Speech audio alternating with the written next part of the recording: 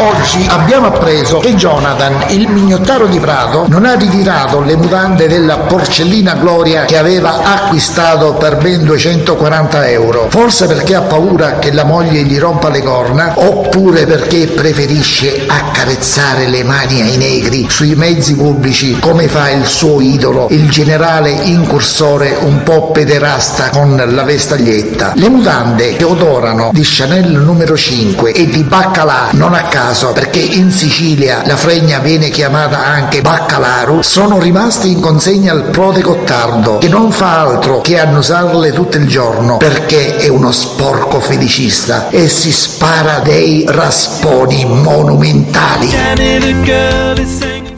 Ciao Alberto, scusate, avevo detto che oggi riuscivo a connettermi. Il problema è che ieri sera siamo arrivati tardi, sono arrivato tardissimo a Londra, tipo, non so se hai visto, c'è stato un, un grande problema all'aeroporto, perché tutti um, i sistemi di controlli elettronici dei passaporti erano bloccati, quindi sono rimasto uno bloccato dell'aereo, poi due ore a e sono arrivato a casa in albergo alle lune e mezza di notte. Ehm, quindi non sono molto in forma, adesso cerco di connettermi dopo, cerco di fare step. Cannarui, com'è bello andare in due sulla Graziella, fare in cularella, in giro per Milazzo a mostrare a tutti il cazzo. O in giro per Montoggio a cercare il gran fenoccio. Ieri è chiuso alle 7.53. Eh, oggi vuoi battere il record? Ma vai a fare in culo. Ma vai a fare in culo. Chiama gli abbonati e chiedigli se sono contenti. Chiama gli abbonati e chiedigli se sono contenti. Vai, vai. Chiama la signorina Baul. Vai, vai, chiedigli se è contenta. Chiediglielo, fallo. Fallo. Fallo. Viva il capofabbro, anzi chiama anche il capofabbro. Bravo. Buongiorno a tutti, a tutte e soprattutto a te che hai deciso di stupirmi donandomi questa cosa graziosissima che mi ritrovo in questo momento tra le mani. È come se mi avessi in qualche modo letto nel pensiero e se di sorpresa una donna può vivere, tu sicuramente sei andato oltre. Tutti curiosi di sapere di che cosa si tratta? No, ve lo lascio indovinare. Anzi, vorrei lanciare invece una nuova quest per la mutanda che è ancora in terra baffo Gottarda. Non esiste, non esiste che il feticista se la tenga. Voglio un'altra riffa. Certo che, caro Alberto, appoggiarglielo sulle mani, vedere il suo sorriso, sentire la morbidezza delle sue labbra, sentire il profumo soave di tutti i suoi orefizi è stato per l'ennesima volta una cosa stupenda. Stupenda, caro Alberto. Però mi devo accodare alla nostra beata e leggiadra signorina dicendo che sei un coglione, un maledetto testa di merda e che le mutande o le restituisci o le rimetti all'asta. Perché se non le restituisci, il prossimo a prenderlo in mano potresti essere tu. Ogni volta che ascolto il morning all'inizio e anche quando a volte vado nella chat mi viene in mente quel fumetto di Edica Totem Comic e c'era quella frase perché tanto odio? Gente di tutta Italia, ascoltate! Voi fascisti o comunisti, terrestri o asgardiani, cristiani o seguaci del maligno, cisgender o gender fluid, provax o novax, contribuenti o retributivi. Il Morning Show è un programma senza filtri. Ogni riferimento a fatti e persone reali è del tutto in tono scherzoso e non diffamante. Se le parole forti e le idee sguaiate vi disturbano, avete 30 secondi per cambiare canale. Morning Show dalle 7 alle 9 Gottardone ti sorprenderà. Fasci comunisti, fighe imprenditori Loro ti diranno poi la verità. Morning Show dalle 7 alle ci crederai. 4-5 volte al giorno fanno l'amore. Costano nel maremmano 5-6 al giorno. Se vabbè, ma vai a fare in culo. Morning show dalle 7 alle 9 È ora di finiamola con sto schifo. Morning show Noi dobbiamo andare avanti! Buongiorno! 8 maggio 2024, siamo celebra la Madonna del Rosario di Pompei e ricordate, cerchiamo sempre di fare il meglio con quello che abbiamo a disposizione. Ciao! Il legionario è anche un po' rotto il cazzo, eh? Non fa mica più ridere. Sì, è vero, il legionario ha fatto il suo tempo, io credo che abbia abbastanza rotto i coglioni, anche perché ormai non dice più cose di carattere generale, se la prende con singoli interventisti di questo programma, se l'è presa col tizio di Prato, il tizio di Prato ce la tiene a così a spiegare che lui non è mai stato con donne a pagamento e quindi gli devo anche questo chiarimento perché chiaramente prima di mettere dei messaggi per quanto ironici su delle persone cerco sempre anche di avere l'autorizzazione di quello che non si senta offeso che se no faccio la fine con, eh, come con Luca Zaia che la settimana prossima pensa che ancora il tempo è già arrivato il tempo di dire la settimana prossima lunedì prossimo sono a processo con Luca Zaia mi mancava solo questo in questo periodo assolutamente sgangherato in cui faccio delle giornate tipo ieri che mi alzo alle 5 e mi corico di nuovo a mezzanotte e mezza. E eh, ringrazio Simona Luni per la pazienza perché gli mando tutte le cose all'ultimo anzi un po' più tardi che l'ultimo ma lui riesce a metterle eh, in onda. Eh, mi scuso con gli ascoltatori ieri è stata una puntata ridotta sarà una puntata ridotta anche questa perché eh, purtroppo questo riesco ad esprimere. In un momento in cui ho deciso di intraprendere una battaglia una battaglia importante quella della campagna elettorale si chiama campagna perché è un termine militare. Cioè eh, la, c'era la campagna di Russia che andò malissimo a Napoleone c'era la campagna cioè ogni posto dove andavi a fare la guerra a portare le truppe si chiamava appunto campagna perché è così. E tu hai un, un territorio enorme che è quello dal Trentino Alto Adige fino a, alla Romagna cioè si va da Riccione a Bolzano eh, da eh, Modena fino a Trieste cioè pensate solo le diagonali pensate che sia una piastrella enorme e voi dovete infilarvela tutta nel buco del culo. Ecco, io credo che si possa dare questo tipo di similitudine nel lavoro che sto facendo di qui al prossimo mese e di qui al mese scorso.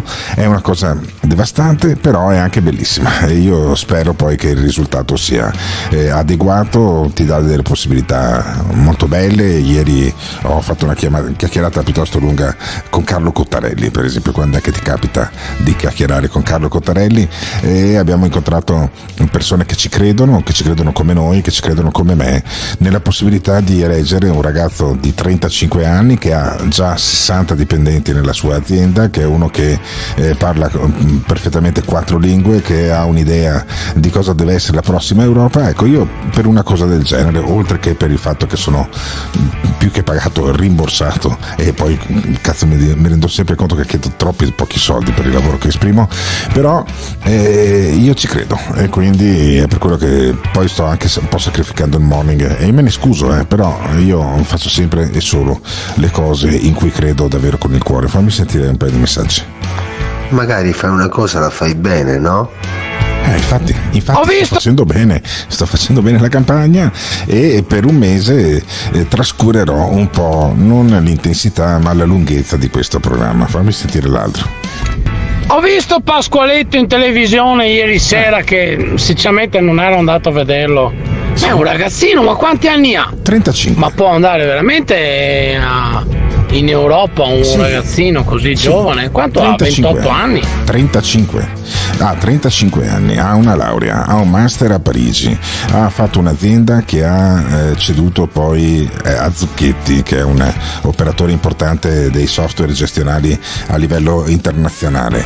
Eh, è uno che ha fatto 12 anni il consigliere comunale, che è una rottura di coglioni pazzesca, c'ha una moglie, c'è una bambina, c'ha la voglia di eh, cambiare le cose dall'interno. E io non devo spaccarmi il culo eh, per uno così, che non è un ragazzino, ha 35 anni, ha l'età giusta per eh, spaccarsi il culo, io muoio. Lui invece la mattina dopo è già, è già pienamente recuperato, magari non ha, non ha 67 punti di invalidità eh, come ce l'ho io. Sentiamo ancora qualche altro messaggio.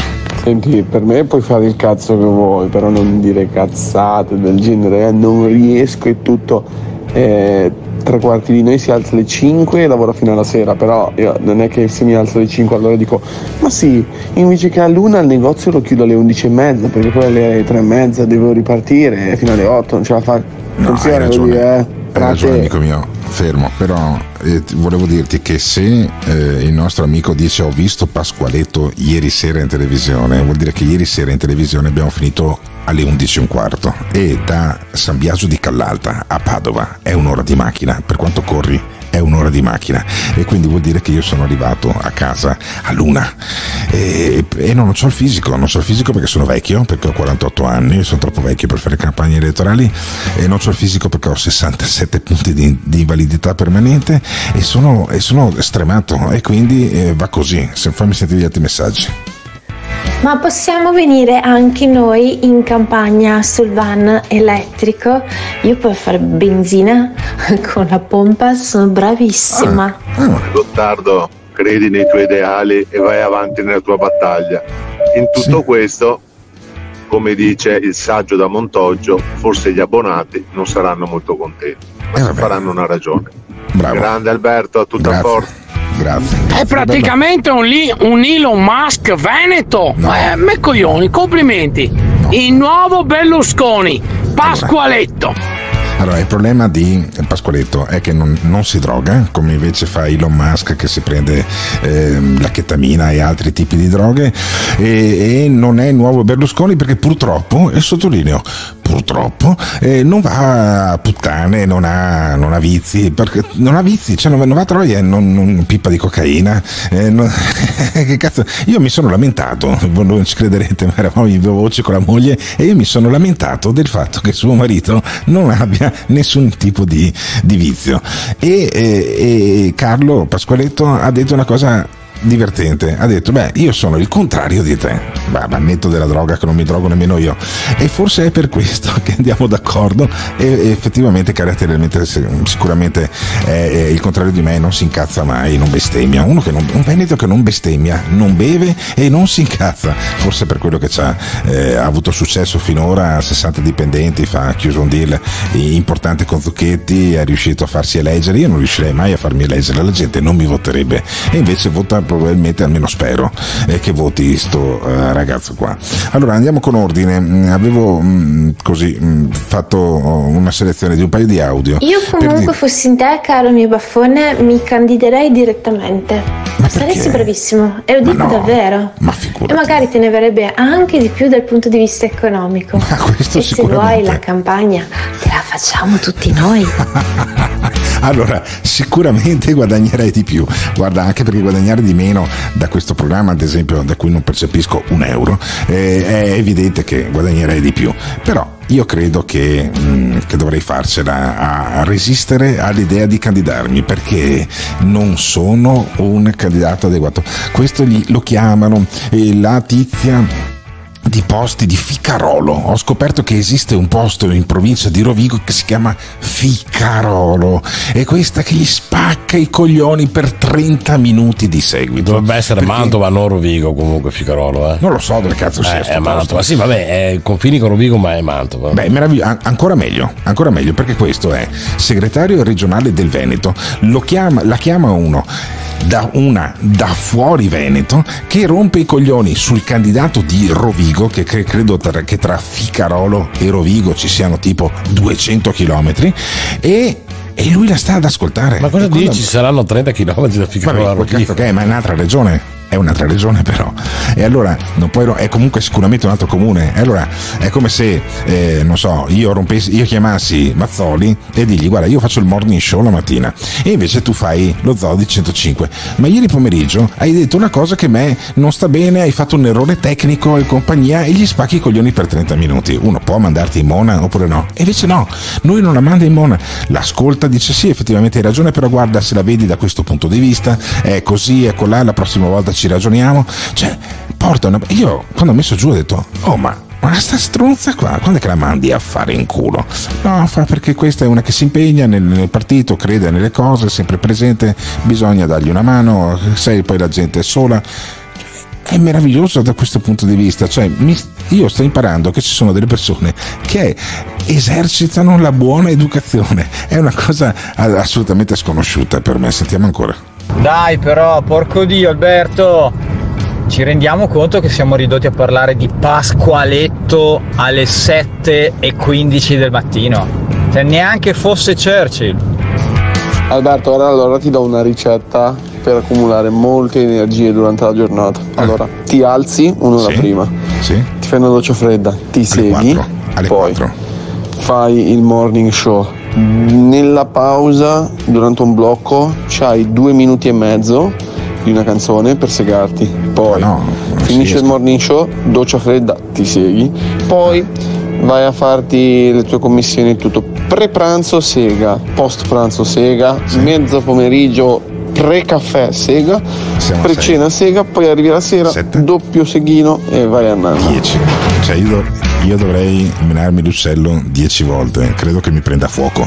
E poi alla fine. E poi comunque due minuti e mezzo davvero non, non riesco a combinare assolutamente nulla. Non è, non è così, caro mio, fammi sentire l'ultimo. Quindi fare campagna elettorale significa leccare il culo a qualsiasi personaggio ti giri intorno. No. Mamma mia, allora sei perfetto. Ma no, non è così. Carolo si infilano una sbrisolona sopra il buco del culo.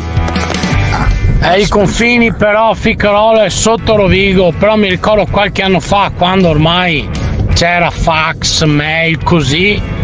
E io ho detto vi mando un fax dell'offerta, parliamo di 15 anni fa. E mi fanno no no, mi mandi un'offerta via posta perché non abbiamo il fax.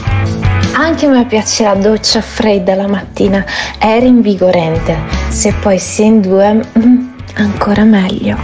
Vabbè, ok, perfetto, benissimo. Mm, Io la chiuderei qua e cercherei di parlare di una cosa che avevo selezionato, ovvero la grande diatriba, la grande eh, incazzatura tra due vecchi.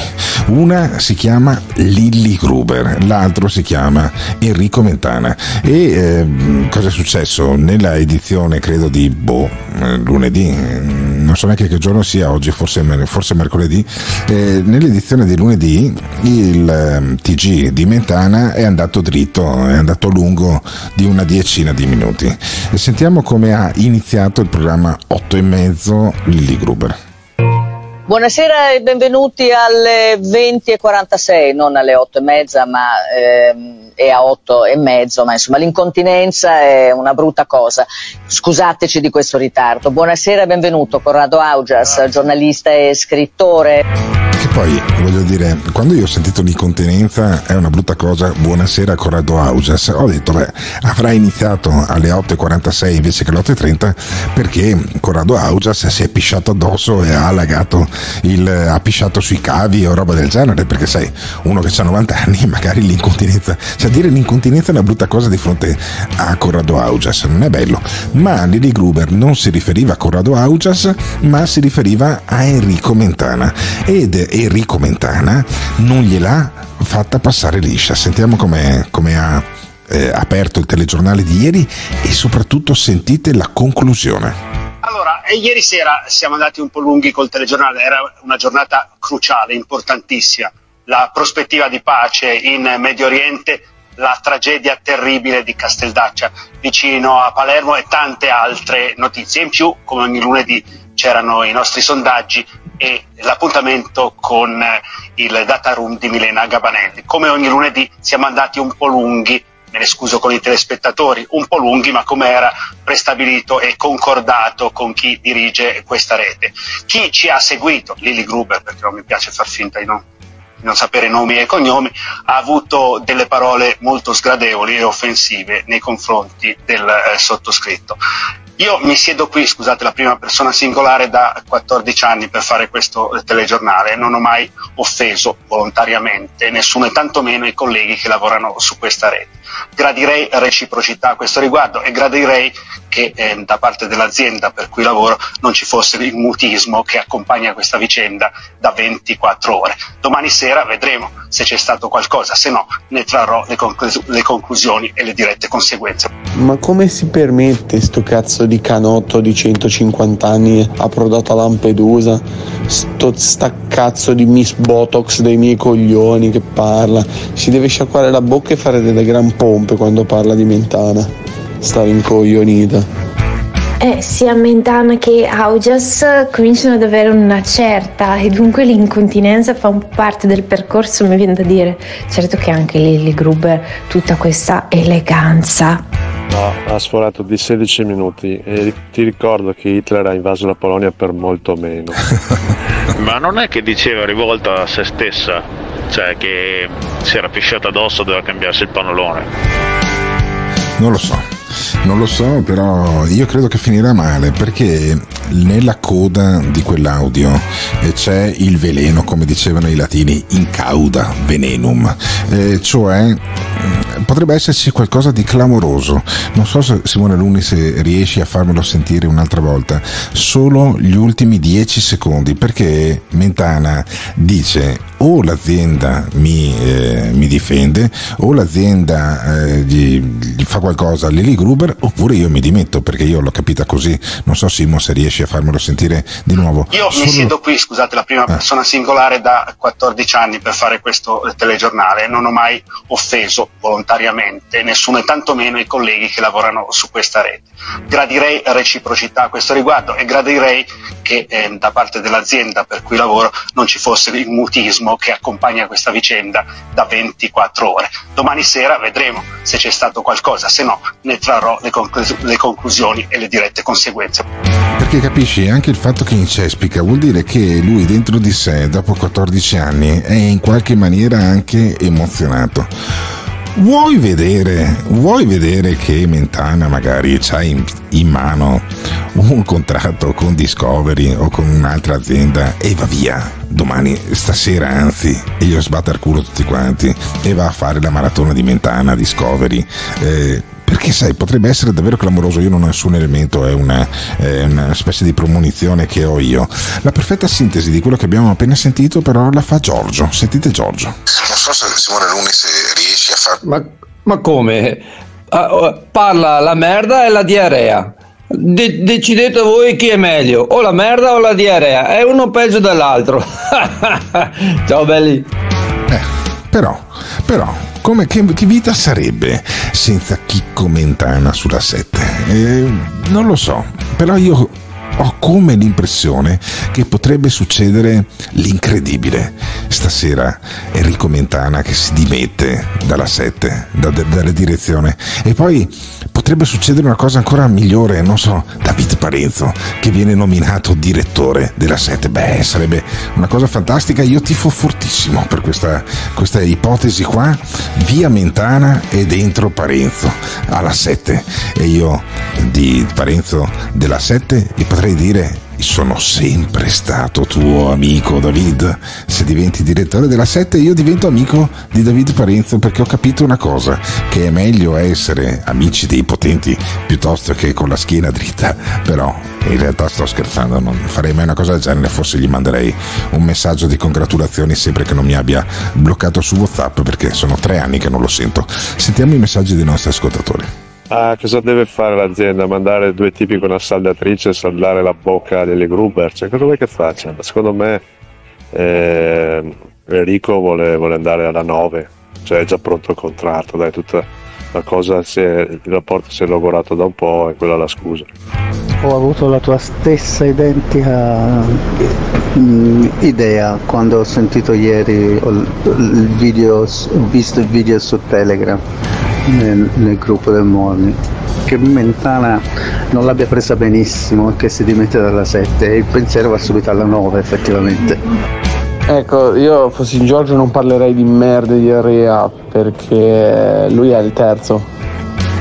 Lui è il tarzanello attaccato ai peli del buco del culo durante una brutta, bruttissima giornata in ufficio. Diciamo che te avresti piacere di Parenzo direttore della Sette come avevi piacere di Berlusconi presidente della Repubblica, eh? Credevate di ascoltarvi tutto il podcast. E invece questo è l'antipasto, che con un po' di sadismo abbiamo deciso di mettere disponibile a tutti quanti. Ma per continuare ad ascoltare la puntata, devi abbonarti. Cioè clicchi sul link successivo, quello con il lucchetto, quello con scritto a pagamento. E paghi. Se no, ascolti solo gli antipasti.